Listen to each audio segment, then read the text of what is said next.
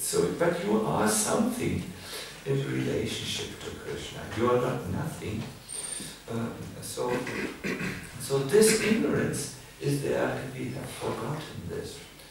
Uh, the result is Hare Krishna. Have a wonderful journey to, to Berlin.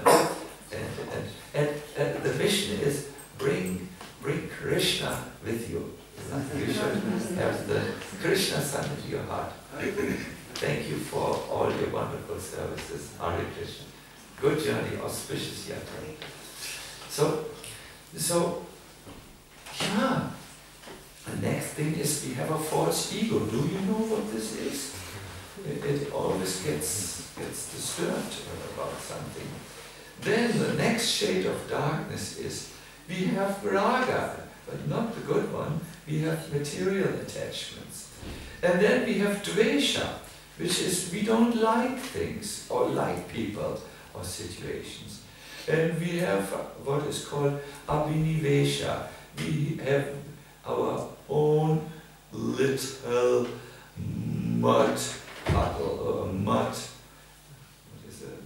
Puddle? Yes, little mud puddle in which we turn around. Our little place of absorption, uh, you know, our material, our material thoughts. It's called deep absorption in some material things. This is called the inner darkness.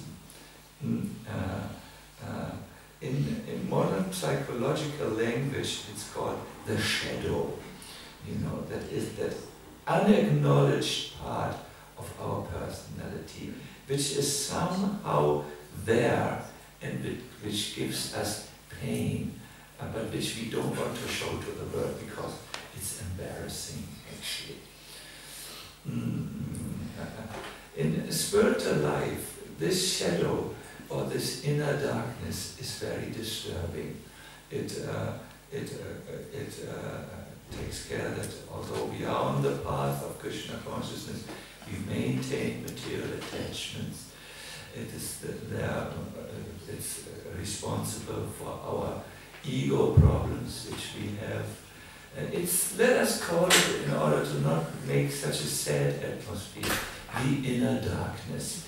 If you uh, prefer to translate it into your, mm, your modern language, you can say uh, it's something uh, which Jung called the, the shadow.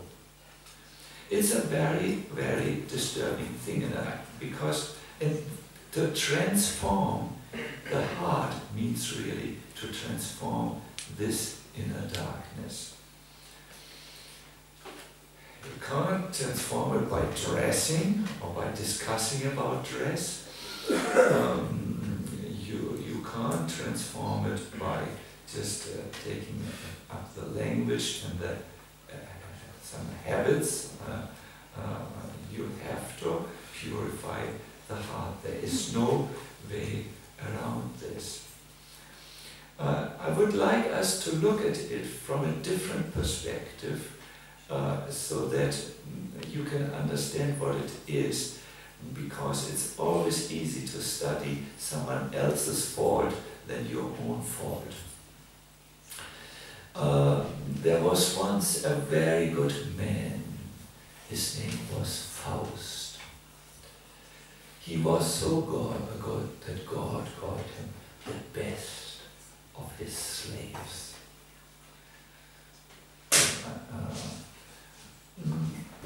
So the devil one day came up to the to, and they had a meeting with God. And uh, God asked, how is it going? The devil said, I'm actually a little bored. The people on planet Earth are so easily brought in illusion that it's no fun any longer. oh, God, I have one person the best of my servant. His name is Faust. And I bet,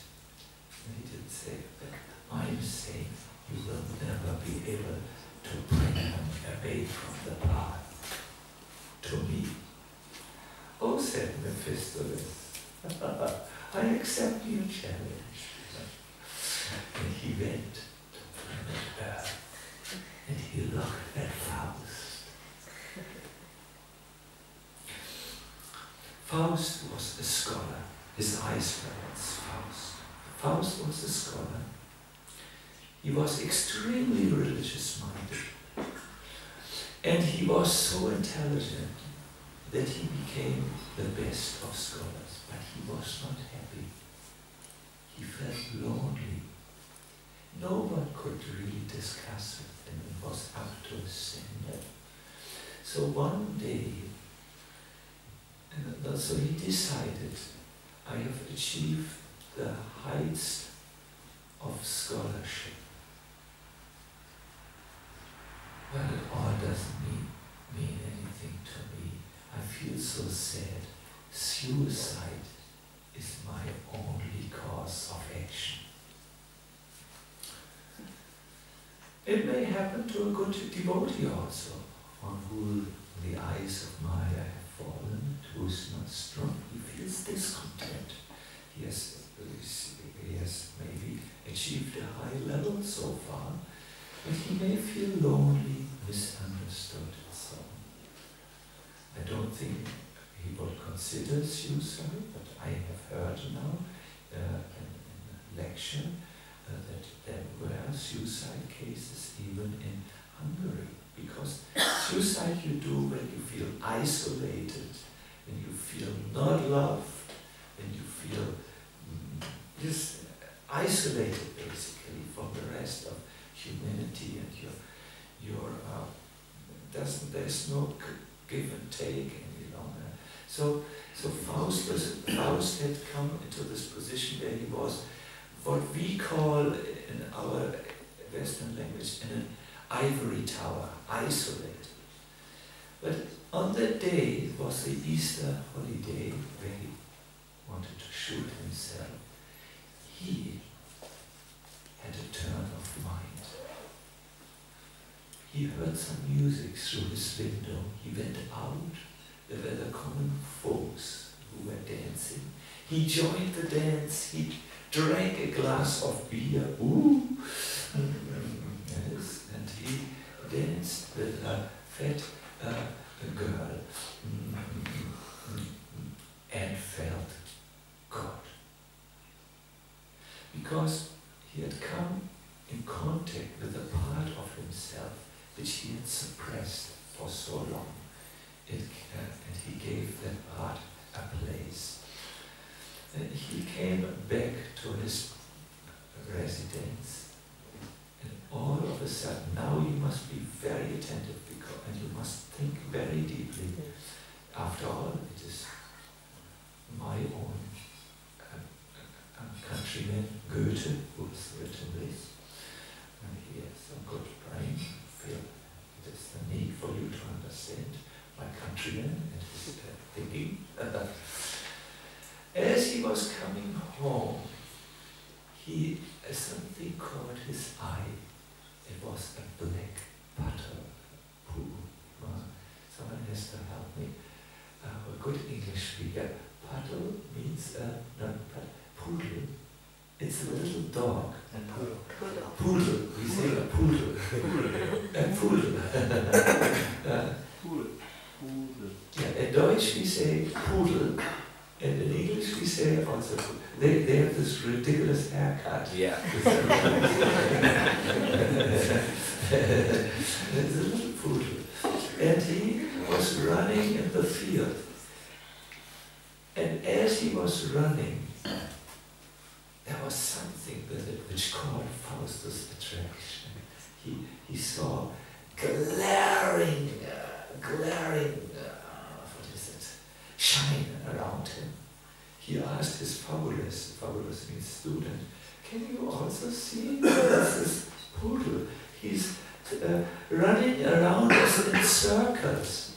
Uh, no, said uh, the, the uh, famulus Miss Student, I can't see, Master, what you see.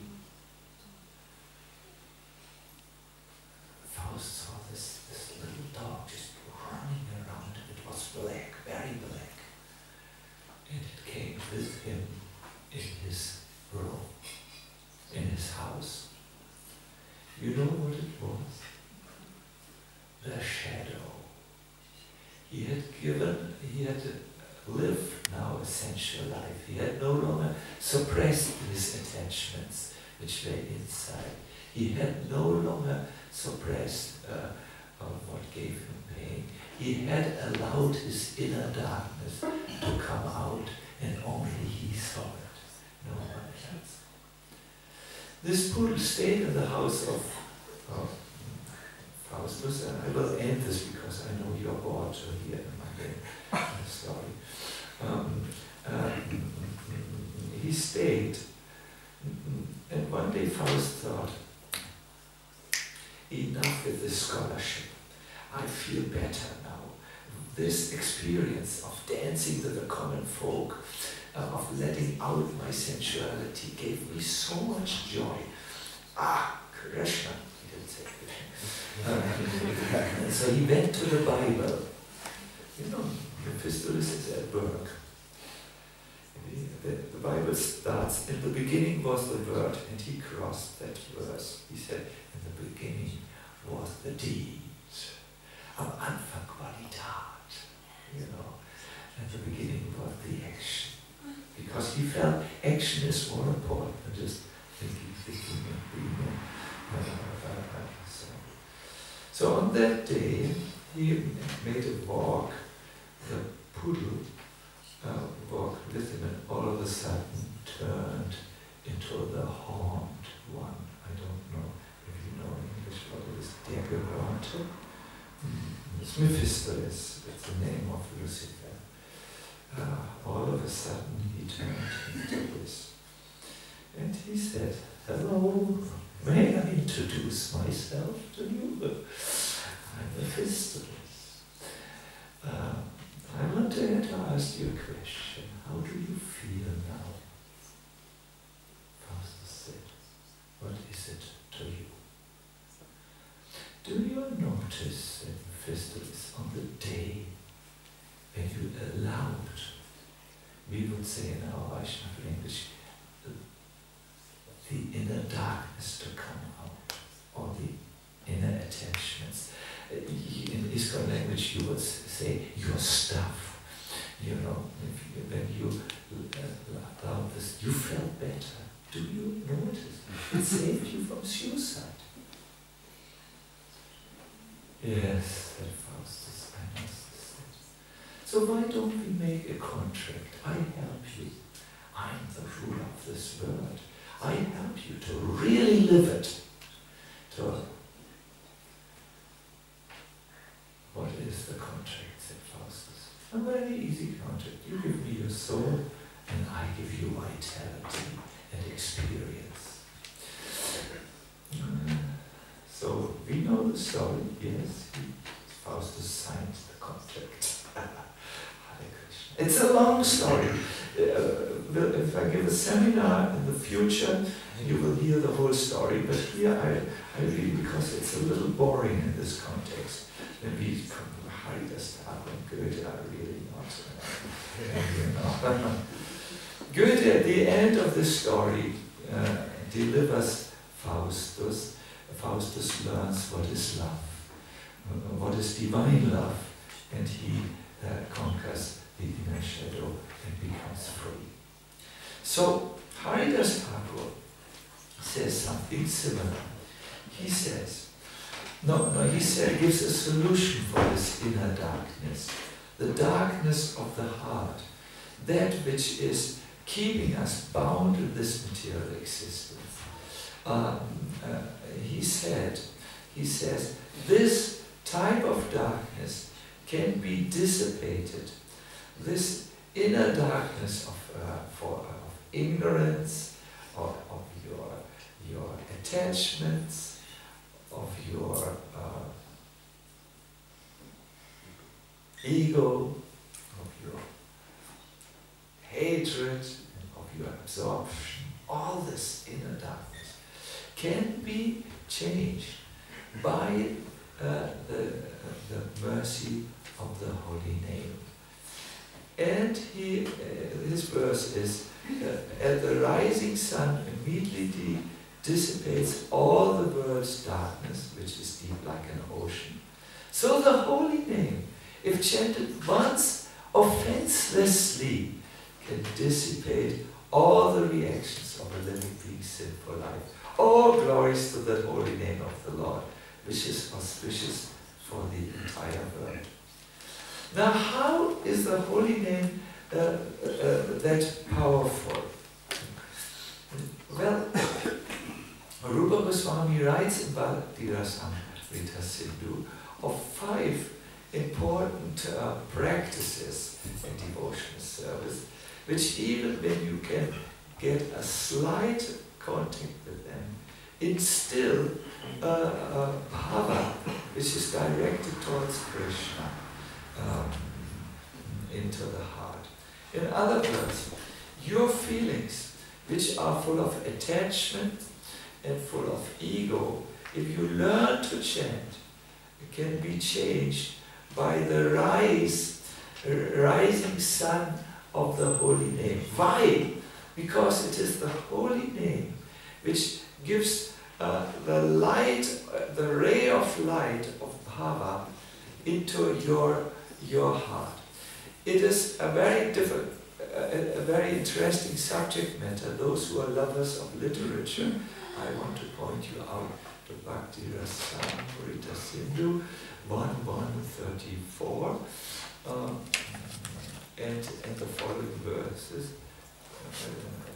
No, it's 1, I, I said it wrongly, 1, 3, 1, and then you continue to read. It is said, it is said, the bhava is like a ray of the sun which melts the heart, and then, then one desires to meet Krishna, serve Krishna, and exchange love with Krishna. the, the holy name, in other words, is